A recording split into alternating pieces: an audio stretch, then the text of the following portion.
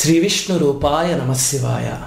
మనం వెళ్ళాల్సిన బాటలో కనుక సక్రమమైన మార్గంలో వెళ్తే ఏ గురువుని మనం వెతుక్కోక్కర్లేదు గురువు దగ్గర ఉపదేశం కోసం డబ్బులు ఖర్చు పెట్టక్కర్లేదు.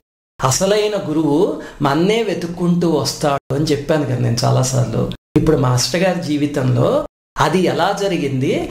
ఈ యోగ కిరణం అనూహ్యమైన మలుపు ఎలా తిరిగింది అనేది ఇప్పుడు చూద్దాం. మాస్టర్ గారు కాపురం పెట్టిన కొత్తల్లో ఒక గాయత్రి మాత పటం తీసుకొచ్చి పూజలో పెట్టుకొని ఆయన మామూలుగా చేస్తే గాయత్రి జపం సంధ్యావందనం అనుష్ఠానం అన్ని చేసుకునేవారు కదా. అప్పుడు ఆయనకి విచిత్రంగా ధ్యానంలో ఒక గురువు గారి ఆకారం కనిపించటం మొదలుపెట్టింది గాయత్రి జపం చేస్తూ ఉంటాను. దాంతో ఇదేమిటి ఆకారం అని గమనించేవారు అనమాట కానీ అది కనిపించినప్పుడు అనిర్వచనీయమైన అనుభూతికి లోనయ్యేవారు. మెల్లిగా పాదాల దగ్గరించి కొంచెం కొంచెం పైకి కనిపించడం మొదలుపెట్టి ఆయనకి ఇంగ్లీష్లో చెప్తే ఆయన ఇదేమిటి ఏదో వస్తోంది ఇన్స్ట్రక్షన్ ఏమో అని పుస్తకం తీసుకొచ్చి అవన్నీ రాసిసేవారు అనమాట ఇంగ్లీష్లో చెప్తున్నవన్నీ. అలాగా కొంచెం కొంచెం కొంచెం పైకి కనిపించి చివరికి గాయత్రి జపం అలా చేస్తూనే ఉండేవారు. జపం చేసినప్పుడల్లా ఈ రూపం కనిపించేది. కొన్నాళ్ళు మూడు వారాలు అయ్యేసరికి దాదాపు అప్పుడు పూర్తిగా కనిపిస్తుంది రూపం. చూస్తే ఒక ఆయన మీసాలతో ఇలాగ కూర్చుని ఉంటారన్నమాట. వీరాసనం వేసుకుని. అది చూసి ఎవరో అయినా అని నమస్కారం చేసుకుంటారు. ఆయన పేరు తెలియదు ఆయన ఏ గురువో తెలియదు ఎవరో తెలియదు కొన్ని రోజులకి ఏమవుతుంది? గుడ్లవల్లేరు అనే ఊళ్ళో ఒక హెడ్ మాస్టర్ ఒక ఆయన ఉంటారు. ఆయన మాస్టర్ గారిని ఏమండి ఈరోజు సాయంత్రం మీరు వచ్చి మా పాఠశాలలో ఒక ఉపన్యాసం చెప్పగలరా? ఈరోజు ఠాగూర్ జయంతి కదా అని పిలుస్తారు. సరే అయితేనండి అని చెప్పి వెళ్తారన్నమాట మాస్టర్ గారు. వెళ్ళాక అక్కడ ఆయనతో మాట్లాడుతూ ఉంటే ఆయన ఆరు అవుతూ ఉండగా ఒకసారి లేచి ఏమండి నేను ఒక చిన్న ప్రేయర్ చేసుకోవాలి. అది చేసుకుని వస్తాను. మీరు ఇక్కడే కూర్చుని పుస్తకం చదువుకుంటూ ఉండండి అని చెప్పి బయలుదేరతారు. మాస్టర్ గారు ఏమిటి ప్రేయర్ అంటున్నారు? నేను కూడా వెళ్తే బాగుంటుంది కదా అనుకుంటారు. ఈయన మనసులో అనుకోగానే ఆ వెళ్ళిపోతున్న ఆయన వెనక్కి వచ్చి ఏమండి మీకు అభ్యంతరం లేకపోతే మీరు కూడా వచ్చి కూర్చోవచ్చు ఆ ప్రేయర్లోనూ అంటారు. సరే పదండి అని చెప్పి వెళ్తారనమాట ఆయన ఇంట్లో ఒక గదిలోకి వెళ్ళాక అక్కడ కొంతమంది సభ్యులు కూర్చుని ఉంటారు. మాస్టర్ గారు అక్కడికి వెళ్ళి చుట్టూ చూసి అలా ఎదురుగుండా చూసేసరికి అక్కడ పెద్ద పటం పెట్టి ఉంటుంది. అందులో కూర్చున్న మూర్తే ఈయనకి ఇంతకాలం ధ్యానంలో కనిపిస్తున్న వ్యక్తి అనమాట అంతే. చూడగానే ఇలా రెండు చేతులు జోడిస్తారు. అలాగే ప్రేయర్లో నమస్కారం మాస్టర్ సివివి అని అంటారు. ఆయన అది ఉచ్చరించగానే ఆయన శరీరం అంతా ఒక్కసారి ఉలిక్కిపడి రోమాంచితం అవుతుంది. అయ్యి అనిర్వచనీయమైన అనుభూతి అనమాట అప్పుడు చిన్నతనంలో అనుభూతి కలిగింది కదా. ఆ రోజు ఆ పుస్తకం మీద చదివిన అక్షరాలు సివివి అని అప్పుడు గుర్తొస్తుంది మళ్ళీ అలాగనే అక్కడ రాసలీల అనుభూతి జరిగింది చూడండి. ఆ అనుభూతి ఎలా జరిగింది? అప్పుడు ఆయన అనుభవించిన ఆనందం ఏంటో ఈ గురువు గారి పేరు చెప్పగానే అదే ఆనంద స్థితి మళ్ళీ అనుభవిస్తారనమాట పూజ అంతా అయ్యాక ఎవరండి ఈయన అని అడిగితే ఆయన్ని సివివి గారు అంటారండి. ఆయన ఒక యోగ మార్గాన్ని ప్రతిపాదించారు. కుంభకోణంలో ఉండేవారు అని చెప్తారనమాట విచిత్రం చూస్తే మాస్టర్కే గారు పుట్టేందుకు కొన్ని సంవత్సరాల ముందే సివివి మాస్టర్ గారు శరీరం వదిలేశారు. కానీ గురువే శిష్యుడిని ఎలా వెతుక్కుంటూ వచ్చారో చూడండి. మనం ధర్మ మార్గంలో వెళ్తే మనం చేసిన పూజ అవన్నీ సక్రమంగా చేస్తే అలా గురువు వస్తారు మన దగ్గరికి. అప్పుడు మాస్టర్ గారు అంటారు నాకు ఒక ఫోటో ఇవ్వగలరా అండి? ఆయనది అంటారు. అంటే ఆయన నా దగ్గర ఇది ఒక్కటే ఫోటో ఉందండి. మీకు ఒక అడ్రస్ ఇస్తాను. దానికి కానీ మీరు ఉత్తరం రాస్తే కనుక వాళ్ళు మీకు ఫోటో పంపిస్తారు అంటారు. సరే అని మాస్టర్ గారు ఇంటికి వచ్చేస్తారు. ఆయనకి ఫోటో ఎందుకు? గురుమూర్తి ఇక్కడ ముద్రించుకుపోయారు. ఫోటో చూడకముందే ధ్యానంలో కనిపించిన గురువు కావాలంటే ఫోటో రూపంలో రాలేరా చెప్పండి. మాస్టర్ గారు అది మర్చిపోయి రోజు ధ్యానం చేసుకుంటూ ఉంటారు. అప్పుడు ఆ గురువుగారు రోజు కనిపించి ఇంకా అక్కడి నుంచి ఆ రోజు ఏం చేయాలి? అలాగే కొన్ని యంత్రాలు కొన్ని మంత్రాలు కనిపించాయి. వాటిని ఎలా ఉపాసన చేయాలి? వాటికి మార్గాలు ఏమిటి అవన్నీ చెప్తూ ఉండేవారు అనమాట ఈయనకి అది భ్రమో నిజమో అర్థం కాదు కానీ ఒక చోట రాసేసుకుని అనుసరిస్తూ ఉండేవారు. కొన్నిసార్లు చేయకపోయినా సరే వాటి అంతటవే ఆ సంఘటనలో జరిగిపోయి జీవితంలోనూ అవి నిరూపితం అయ్యేవన్నమాట ఓహో అయితే ఇది గురువు గారు నాకు ఇస్తున్న ఆదేశాలన్నమాట ధ్యానంలోను అని అప్పుడు అర్థమైంది. విచిత్రంగా ఒక రోజు పోస్ట్లో సివివి మాస్టర్ గారి ఫోటో మాస్టర్ కే గారి దగ్గరికి వస్తుంది. ఈయన ఎవరికి ఉత్తరం రాయరు ఏం చేయరు. అదే వస్తుంది పోస్ట్లోను. వస్తే ఇంకా అక్కడి నుంచి పూజలో పెట్టుకునేవారు. అక్కడి నుంచి అండి మీరు మాస్టర్ గారి జీవితం చూస్తే ఆయనకి వ్యక్తిగత జీవితం అంటూ లేదు. ఇష్టాయిష్టాలు లేవు. నాకు ఇది జరగాలి అని ఉండేది కాదు. నేను ఇది చెయ్యాలి అని ఉండేది కాదు. ఏ పని కూడా నా వల్ల జరగలేదు. నా ద్వారా నా గురువు గారు చేయించారు అని చెప్పేవారు ఆయన. ఏ కర్మకి కానీ ఏ బంధానికి కానీ ఆయన జీవితంలో ఎప్పుడూ అంటుకోలేదు. మన మోక్షస్థితి అంటే ఏమిటి అని అడుగుతాము. బ్రతికుండగానే మోక్షం అంటే అదే. ఆయన్ని ఒకసారి అడిగారు అందరూ మీ గురువే మిమ్మల్ని వెతుక్కుంటూ ఎలా వచ్చారండి? మనం కదా గురువుని వెతుక్కుంటూ వెళ్ళాల్సిందే అని. అంటే అప్పుడు మాస్టర్ గారు అన్నారు. ఆయన మనం గురువుని ఎన్నుకోవడం అంటే ఓట్లేసి రాజకీయ నాయకుడిని ఎన్నుకుంటాం అలాంటిదేను. మనం ఓట్లేసి ఎన్నుకున్న నాయకులు ఎలా ఉన్నారో మనకి తెలుసు కదా. మనం గురువుని వెతుక్కుంటే మనకి అలాంటి గురువే దొరుకుతాడు. మనం ఎప్పుడూ వెతుక్కోకూడదు. మనం రోజు పడుకునే ముందు నేను ధర్మ మార్గంలోనే నడిచాను ఈ రోజంతాను.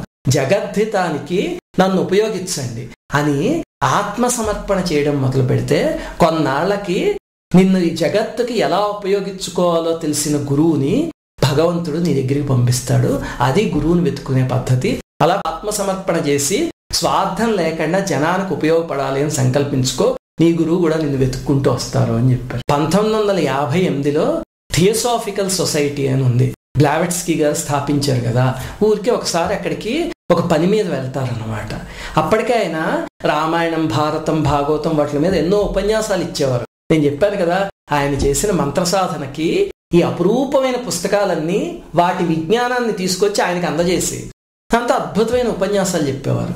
ఆ థియోసాఫికల్ సొసైటీకి వెళ్తే అక్కడ గ్రంథాలయంలో సీక్రెట్ డాక్టరీన్ అనే పుస్తకం కనిపిస్తుంది. అది చూడగానే ఇంకెందుకో అటువైపు ఆకర్షితులైపోతారనమాట అయిపోయి ఆ గ్రంథాలయంలో కూర్చున్న ముసలాయన్ని అండి ఆ పుస్తకం నాకు ఇవ్వగలరా? చదివేసి ఇచ్చేస్తాను భద్రంగాను అంటారు. అనేసరికి ఈయన చూసి ఏంటి మీ సీక్రెట్ డాక్టర్ని పుస్తకం గురించి అడుగుతున్నారా? ఆయన నువ్వు చూడబోతే చిన్న కుర్రవాళ్ళ ఉన్నావు. ఏంటి అనుకుంటున్నావు ఆ పుస్తకం అంటేనో? అది మేడం బ్లావెట్స్కీ గారు రాశారు. తలలో పండిపోయిన ఆధ్యాత్మికవేత్తలకి ఆ పుస్తకంలో మొదటి పేజీ కూడా కొరుకుడు పడదు. అలా ఉంటుంది అది నీకేం అర్థం అవుతుంది అది అంటారు పుస్తకం ఇప్పించండి. నాకు ఎందుకు ఆ పేరు చూడగానే చదవాలనిపించింది అంటారు అనమాట అంటే ఆయన ఎందుకో సరే అడుగుతున్నావు కదా ఇస్తాను తీసుకువెళ్ళు అని చెప్పి ఆ పుస్తకం ఇస్తారు. ఇస్తే ఇంటికి తీసుకొచ్చి చదవడం మొదలు పెడతారనమాట అప్పుడు విచిత్రంగా ఏమవుతుంది ఆయన భార్య పిల్లలు పుట్టింటికి వెళ్తారు. ఈయన ఒక్కరే ఉంటారు ఇంట్లోను. ఉంటే చదవడం మొదలు పెట్టేసరికి విచిత్రంగా రామాయణ భారత భాగవతాల్లో అప్పటికే ఆయన ఎంతో నిష్ణాతులు అయిపోతారు కదా. వాటిలో ఓపెన్ ఎండ్స్ ఉంటాయి కదా ఆయనకు అర్థం కానివ్వకుంది. అవన్నీ సాల్వ్ అయిపోవడం మొదలు పెడతాయి ఇప్పుడు. ఓహో రామాయణంలో ఇది? ఇందుకు జరిగిందా ఇలాగా? అని చెప్పి అవన్నీ అవగతం అవడం మొదలు పెడతాయి పుస్తకం చదివితే.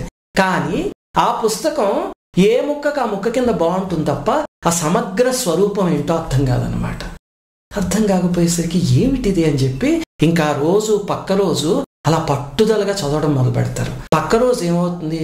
ఇంట్లో ఎవరో యాస్ట్రల్ బాడీతో అలా రాత్రి తిరుగుతున్నట్టు అలాగే చదువుతూ ఉంటే హఠాత్తుగా వెనక నుంచి తన భుజం మీద చెయ్యేసినట్టు ఆ స్పర్శ చాలా దివ్యంగా ఉన్నట్టు అలాంటివి తెలుస్తూ ఉంటాయి అన్నమాట ఏమిటిది? అసలు ఏం జరుగుతోంది? ఈ పుస్తకానికి ఈ జరుగుతున్న సంఘటనలకి సంబంధం ఏమిటి? అని ఆలోచిస్తూ చివరికి వంట వండుకోవడం మర్చిపోయి అన్నీ మర్చిపోయి అర్ధరాత్రి వరకు అలా చదువుతూ ఉంటారు. అప్పుడు అర్ధరాత్రి ఆకలి గుర్తొస్తుంది. గుర్తొచ్చి అయ్యో ఏం వండుకోలేదే? సరే బయటికి వెళ్దామని చెప్పి రాత్రి ఒంటి గంటకి గుంటూరు బ్రాడీపేట రెండో లైన్ దగ్గరికి వెళ్తారనమాట వెళ్ళి అక్కడ ఏదో కొనుక్కొని అని తినేసి ఇంటికి వస్తూ ఉంటారు. వస్తే ఆ పుస్తకం గురించి ఆలోచిస్తుంటారు ఈ పుస్తకంలో ఏదో ఉంది. ఆ ఏముంది అనేది అర్థం కావట్లేదు అని. రాత్రి కట్టిక చీకటి నిర్మానుష్యంగా ఉంటుంది రోడ్డు. అప్పుడు వెనక నుంచి ఒక ఆయన సీక్రెట్ డాక్టర్ని చదువుతున్నావా? అంటారు. వెనక్కి తిరిగి చూస్తారు. చూసేసరికి ఒక ఆయన తెల్లటి బట్టలు వేసుకుని చేతికి భుజానికి ఒక సంచి తగిలించుకుని ఉంటారనమాట ఒక యోగిలాగా. అసలు ఆయన కళ్ళు చూస్తే అలా వెలిగిపోతూ ఉంటే తేజస్తోను చూసి అవునండి నేను చదువుతున్నాను మీకెలా తెలుసు? అంటారు. అంటే ఆయన చిరునవ్వు నవ్వి అర్థమైందా పుస్తకం అంటారు. అంటే అదే అర్థం కావటం లేదండి ఏంటో అదంతా చిత్రంగా ఉంది అంటారు. ఏమీ లేదు అందులో హోలీ ఆఫ్ ద హోలీస్ అని ఒక అధ్యాయం ఉంది. అది చదువు మొట్టమొదట అది చదివేసరికి నీకు మిగతా అధ్యాయాలన్నిటి స్వరూపము అర్థమైపోతుంది. ఇదంతా అర్థమయ్యాక అప్పుడు ఒకసారి భగవద్గీత చదువు అంటారు. అంటే ఈయన వెంటనే సరేనండి కృతజ్ఞతలు కానీ భగవద్గీత నేను చాలాసార్లు చదివాను అంటారు. నువ్వు ఇప్పటిదాకా చదివిన భగవద్గీత వేరు అది కృష్ణ ఉవాచ సంజయ్ ఉవాచ అర్జున ఉవాచ అని ఉండే భగవద్గీత. ఇది చదివాక మళ్ళీ ఒకసారి చదువు నీకే అర్థమవుతుంది అని చెప్తారు. చెప్తే సరేనండి ఇంతకీ మీరు ఎక్కడ ఉంటారు అని మాట్లాడుతూ ఉంటే ఆయన ఈ లోపల పక్క సందులోకి తిరుగుతారు ఈయన వెళ్ళి చూసేసరికి మాయమైపోతారు. అర్థం కాదు. సరే అని ఇంటికి వచ్చి అప్పుడు కూర్చుని ఆ చాప్టర్ చదివి మిగతావన్నీ చదవగానే అప్పుడు ఆ పుస్తకం తత్వం అర్థమవుతుంది. అలాగే విచిత్రంగా అప్పుడు భగవద్గీత తీసి చదవగానే అసలైన భగవద్గీత ఏంటో తెలుస్తుంది. అప్పటిదాకా చమత్కారాలు పాండిత్యము ఇలాంటి భగవద్గీతలో అప్పటి నుంచి కృష్ణుడు సంజయుడు అర్జునుడు వీళ్ళందరూ మనుషులు కాదు తేజోస్వరూపాలు అని గోచరిస్తుంది. వాళ్ళ మాటలు ఏమిటి అనేది ఈయనకు అనుభూతి అవుతుంది అనమాట నిజంగా కృష్ణుడు భగవద్గీత ఈయనకే చెప్తే ఏ అనుభూతి కలుగుతుందో ఆ అనుభూతి అప్పుడు చెందుతారు. అలాగే సీక్రెట్ డాక్టరీన్లో మనువులు ప్రజాపతులు వాళ్ళందరి గురించి కూడా ఉంది కదా. వాళ్ళ దర్శనం అయ్యి చివరికి వైవస్వత మనువు ఒక వృద్ధుడు స్వరూపంలో ఆయనకి దర్శనమిస్తారనమాట అవన్నీ చూసి పులకించిపోతారు ఈయన. అప్పుడు మాస్టర్ గారు రాసినవే భగవద్గీత మీద శంఖారావం అని ఒక వ్యాఖ్యానం రాశారు. మీరు చూడండి భగవద్గీత గురించి ఎంతో మంది ప్రవచనకర్తలు ఎన్నో ఉపన్యాసాలు చెప్పుకుంటారు. కానీ ఒక్కసారి శంఖారావం చదవండి. It is totally different angle for Bhagavad Gita అనమాట అలాగనే భాగవత రహస్య ప్రకాశం తీసుకోండి ఎంతో మంది ప్రవచనవేత్తలు భాగవతం మీద అద్భుతమైన ఉపన్యాసాలు చేశారు కదా.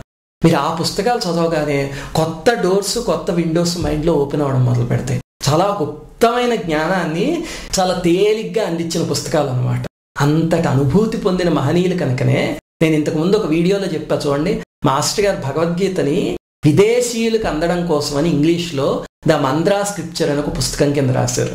అది చదివితే మనకి కృష్ణుడు భగవద్గీతని ఇంగ్లీష్లో చెప్తే ఎలా ఉంటుందో అలా ఉంటుంది. అంతేకాని కృష్ణుడి సంస్కృతం భగవద్గీతకి ఇంగ్లీష్ ట్రాన్స్లేషన్లో ఉండదు అది. అలాంటివి రాయగలిగే అనుభూతి ఇదిగో ఇలాంటి యోగ విద్య ద్వారా వచ్చిందనమాట ఆ తర్వాత మాస్టర్ గారు థియోసాఫికల్ సొసైటీకి వెళ్ళి ఆ సీక్రెట్ డాక్టరీని పుస్తకం ఇచ్చేసి దాని మీద ఉపన్యాసాలు చెప్తారు.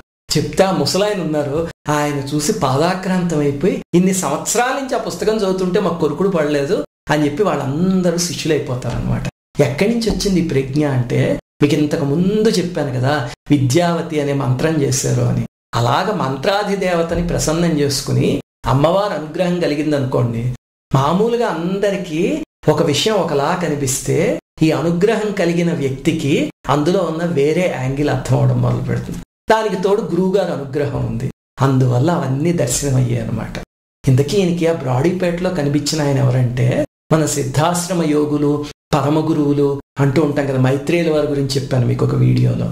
ఆ గురువులు వచ్చి ఈయనకి ఎక్కడ కావాలో అక్కడ మార్గనిర్దేశం చేశారు. ఇలాంటి సంఘటనలు ఆయన జీవితంలో చాలా జరిగాయి. నేను చెప్పింది ఒక్క మచ్చుతునక జ్యోతిష్యంలో మాస్టర్ గారు చూపించిన అపూర్వమైన ప్రతిభ ఏమిటి అనేది ఇంకొక వీడియోలో చూద్దాం. శ్రీమాత్రే నమ. ఈ వీడియోని అప్పుడే క్లోజ్ చేయొద్దు. ఈ వీడియో కనుక మీకు నచ్చినట్టయితే ఇలాంటి మరిన్ని వీడియోస్ చూడాలనుకుంటే మా ఛానల్కి సబ్స్క్రైబ్ చేయండి. కింద ఉన్న సబ్స్క్రైబ్ బటన్ పైన క్లిక్ చేయండి. మేము చేసే కొత్త వీడియోస్ గురించి మీకు తొందరగా తెలుస్తుంది. Thank you.